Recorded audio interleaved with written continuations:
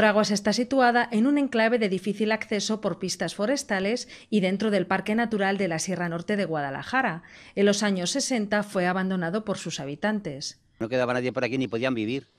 Y entonces emigraron todos a la capital, y donde pudieron. Era un pueblecito muy majo que se daba al ganado, relativamente vivían del ganado nada más y luego eh, ya se empezaron a marchar de allí el público pues por circunstancias de la vida. Hace cinco años un grupo de diez jóvenes decidió vivir en la antigua aldea abandonada e ir recuperando las casas.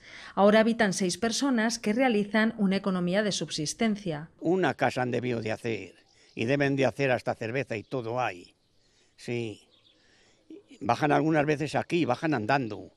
Debe haber tres chicos y tres chicas, había. Tienen unas placas solares agua la que quieran, agua, porque había una fuente en el pueblo y luego encima bajaba agua de arriba, de encima del pueblo que bajaba, que bajaba a regar los huertos. Son reacios a las cámaras de televisión y no quieren que se les grabe, pero los pueblos cercanos como Cogolludo han sido bien recibidos por los vecinos. No se meten con nadie. Eh, eh, yo no sé, estos días, el día de las vaquillas estuvieron por aquí. Ellos es su vida esa, pues oiga, ¿Qué le vamos a decir? Porque por aquí vienen algunas veces a comprar y demás vienen aquí, sí. Ahora estos jóvenes se enfrentan a un proceso judicial por delitos de ordenación del territorio y usurpación del monte público, con penas de dos años de cárcel y multas de 600 euros. El problema, como digo, es el enclave, el enclave, que la normativa es taxativa, pero en Guadalajara y en cualquier otro lugar de España monte de utilidad pública, Parque Natural de la Sierra Norte de Guadalajara y además una zona con alto riesgo de incendio. Reitero,